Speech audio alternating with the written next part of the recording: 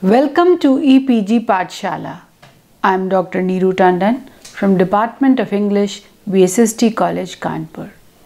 We are discussing paper 13th linguistics and in this paper the module number 17 noun phrase has been written by Dr. Archana Singh, Government Bilasa Girls PG College, Bilaspur, Chhattisgarh.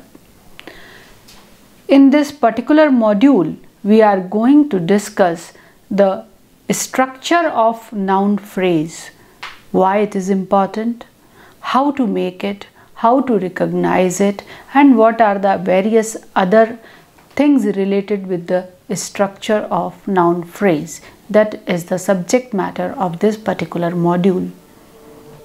We'll also deal with the phrase structure grammar in general and noun phrase in particular. At the end of this module, learners will be able to define noun phrase. They will also be able to analyze and identify the noun phrase in any given sentence.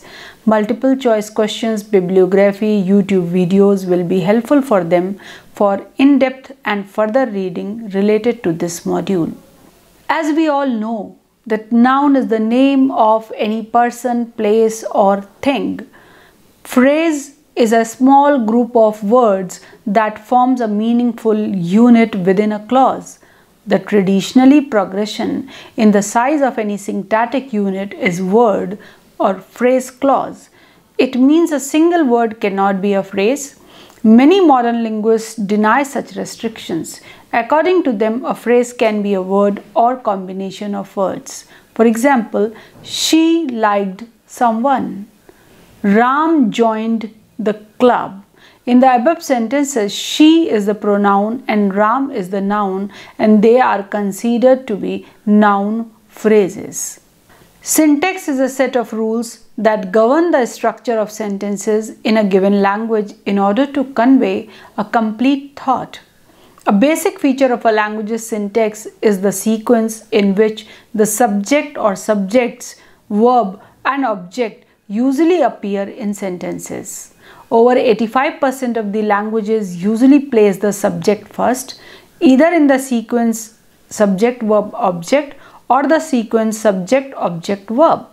In ancient India, Panini's Ashtadhyayi deals with the syntactic theory.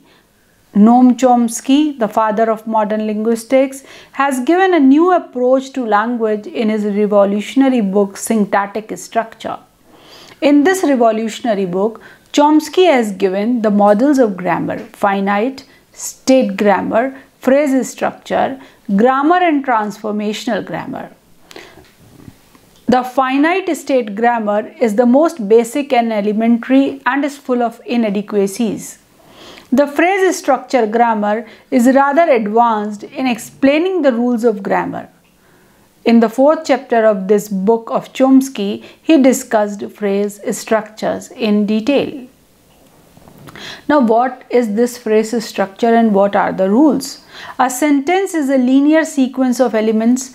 The purpose of this phrase structure rule is to identify these elements and to classify them. In a sentence, we have noun phrase and a verb phrase. Sentence consists of a noun phrase and verb phrase both. Noun, as we said, is a name of a person, place or thing and phrase a small group of words having a meaningful unit within a clause. So just we say that Rita liked someone. Rita is a noun phrase over here. Noun phrase or nominal phrase NP is known as that has a noun as its head word which performs the function of a phrase. In NP, a noun can be identified by removing all other words from the phrase without damaging the sentence structure. Such words are called head words. By removing this head word, the sentence structure is damaged and we are left with no meaning. For example, my new blue sari is very attractive. If I remove my new blue sari, if sari is removed, which is the head word, then this sentence has no meaning. Suppose I say my new blue is very attractive. So that contains, that conveys no meaning. So here sari is the head word and that is important. My new blue sari, when in the above mentioned example, if my new or blue words are removed from the sentences, it won't make any difference in the structure of the sentence. If I say new blue sari is very attractive, even then it is good. My blue sari is very attractive, even then, or I say blue sari is very attractive, even then it is good enough. But once you remove sari, then the sentence loses its meaning. Sari is removed, it would not only damage the structure of the sentence but also the meaning. So hence sari is the head word. There are two components of the noun phrase. One is determiner known as DET and another is modifier known as MOD. Now you see in this diagram that various components of the noun phrase are there as I discussed that determiner and modifier. Determiners a determiner is a word, phrase or affix that occurs together with a noun or noun phrase in the context. Determiners can be divided into following categories predeterminers, central determiners and post-determiners. Predeterminers are a type of determiners that co-occur with determiners and precede other determiners in a noun phrase. They generally do not co-occur. These are the components of noun phrase that you can see. In the middle we have predeterminer and rest are the components. So they are four components like expressing proportion, multiplying expression, fraction and exclamative. Now predeterminers also have expressing proportion. They are used to express proportion of the whole. All the boys ran away. Both the ladies are not talking to me. This all the boys and both the ladies show just express the proportion of the whole. Predeterminers also has multiplying expressions. They are used to multiply the quantity of the noun. Double the books. This double is the multiplication. Fraction, they show the fraction of number. One third of the salary will be given to relief fund. This one third is the fraction of the whole. Then we have predeterminers as exclamative. They are used to show the exclamation. What a beautiful building it is. Wow, what a day. So this is something exclamation. Now predeterminers perform very peculiar function. They demonstrate a speaker's or writer's opinion about the quantitative of the noun. From this tree diagram you can see we have noun phrase that is predetermination then the double and then we have noun phrase determination and the noun the books double the books. So that has been divided and explained. Now predeterminers perform very peculiar function we already told you. Now how? You can see that they demonstrate a speaker's or writer's opinion about the quantitative of the noun. All the boys are sitting in the room. You see we are talking about all the boys the complete number the complete whole not a part. They often are used to show surprise as i told you or intensify other kind of emotions. What a beautiful house.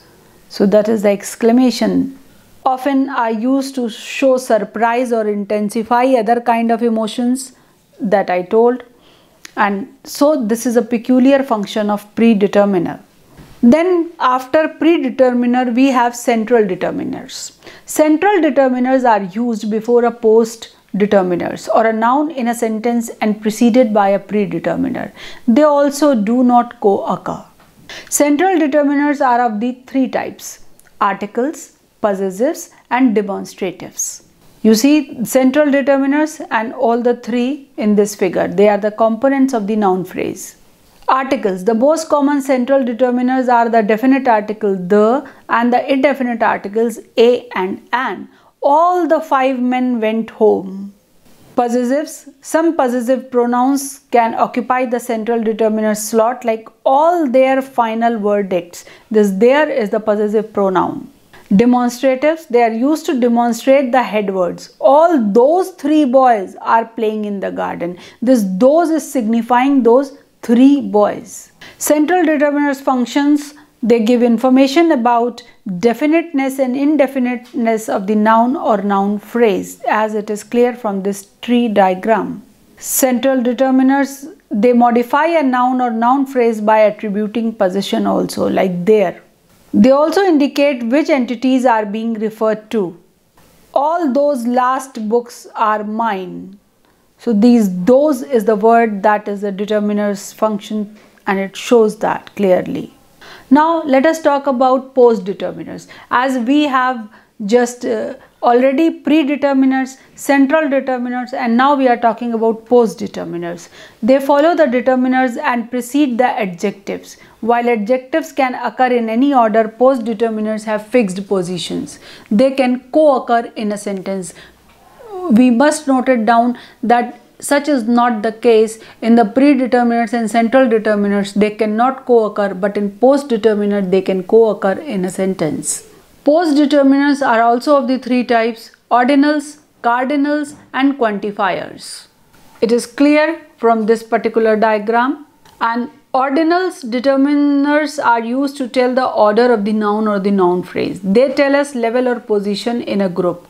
All those last boys are going out of the school. When I said all those, those is the central one, all is the predeterminer and here the last is the post determiner. All those last boys are going out of the school. Then we have cardinals. Cardinal determiners are used in counting to indicate quantity of noun or noun phrase. The first four girls will be selected. How many? Four. That is cardinal. Then we have quantifiers. Quantifiers are also used as post determiners. My many friends are coming for dinner. This many is the post determiner. Modifiers a modifier is an optional element in phrase structure which is set to modify and add descriptive information to the head word in the structure on which it is dependent. This modifier is optional because its removal doesn't affect the grammar of the sentence. Modifiers enable the writer to pack a lot of information into a limited number of words, thus making the style more concise and more effective. Modifiers can be divided into two categories pre-modifiers and post-modifiers. Pre-modifiers are placed before the head word. They can be an adjective or a noun and describe or restrict its meaning in some way. This is a pink house. This pink is pre-modifier. Pre-modifiers are sometimes adjectives modified by other adjectives. This is a lovely pink house. Pink is an adjective and lovely pink is the pre-modifier. They are sometimes degree of adverbs modify adjectives. This is a very big house. Big is the adjective and very big is modifying that particular adjective. In a sentence in which two nouns occur, one of them can act as pre-modifier. Football match is going on. Which match is going on? Football match. So that football is the pre-modifier over here. Post modifiers are placed after the head word. It follows the noun or noun phrase it qualifies or limits. The bedroom upstairs. This upstairs shows the post modifier. Noun phrase modifiers are grammatical functions. They are five in numbers. Noun phrase, adjective phrase, prepositional phrases, verb phrases and adjective phrases. Noun phrase modifier I, for example, I have written a literary theory book. This literary theory is the noun phrase which is modifying the head word book. If you just remove the literary theory, then the meaning of that particular sentence is just uh, spoiled. Adjective phrase modifier I make very tasteless biryani. Very tasteless is the adjective phrase and which is modifying the head word biryani. Now we have prepositional phrase. The lady in the blue sari is very pretty. In the blue sari is the prepositional phrase which is modifying the head word lady. There is a verb phrase modifier also. The boy singing the melodious song is my brother. Singing the melodious song is the verb phrase and that is modifying the head word boy. There is adjective clause modifier also. The lady who fought with me in the hall. Who fought with me in the hall? The lady. So this adjective clause who fought with me in the hall is modifying the head word lady. So noun phrase we can say that syntax is the sequence in which the subject, verb and object usually appear in a sentence. Sentence consists of a noun phrase and a verb phrase. Sentence is a linear sequence of elements. The purpose of this phrase structure rule is to identify these elements and to classify them. We know that noun is a name of a person, place or thing and phrase is a small group of words that forms a meaningful unit within a clause. So many modern linguists deny such restrictions and noun phrase or nominal phrase as it is known has a noun as its head word which performs the function of a phrase. We know that there are two components of the noun phrase, determiners and modifiers and they are further divided into certain other categories as well. So they are expressing proportion, multiplying expression, fraction and exclamation as well. Central determiners are there. Then we have post determiners which are further divided into ordinals, cardinals and qualifiers. To summarize, I will say that when you understand what is the noun phrase, how to recognize that noun phrase in a sentence, now you have come to know what is the head word and whether whatever you this noun phrase is predeterminer central determiner or post determiner and in what sense then it becomes easier for you to classify the sentence properly and to classify according to the parts of speech to express yourself and to use the adjectives in a proper way. Now you can watch the video that i'm going to play in this 5 minute animated video you will just repeat and revise everything that I have told you in this particular module and it will not only be clear to you but you will be able to identify the noun phrase you will be able to write that and understand it in a proper way. Thank you for visiting EPG Pathshala.